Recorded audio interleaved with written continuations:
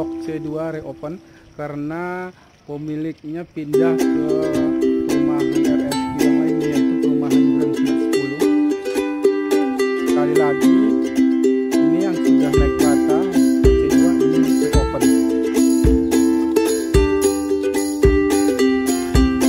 oke saat ini saya masih berada di Ciracas Riverside perumahan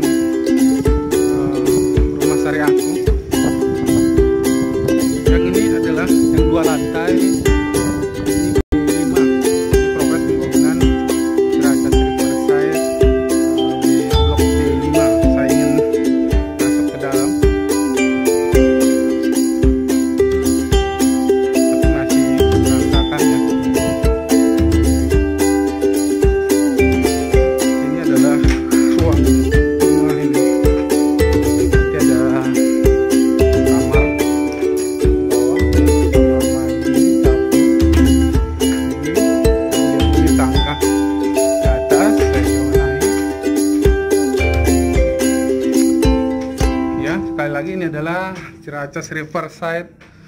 B5 dua lantai